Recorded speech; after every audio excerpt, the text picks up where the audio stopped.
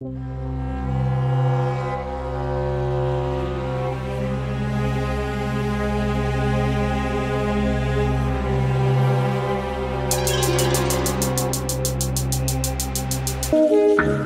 小孩的奶奶说话的意思应该就是你就在这边尿吧，小男孩就直接小便了。周围的人根本就没有预料到会是这样一个情况，都很惊讶吧。尿的过程当中，周围陆陆续续的，基本上所有人都离开了那个位置。小孩的爷爷扔了几张纸在地上，然后用脚擦了几下。每个候车厅都有公共厕所的，走几步路就能到的那种。这样事情肯定是不对的，怎么能在公共场所随地大小便呢？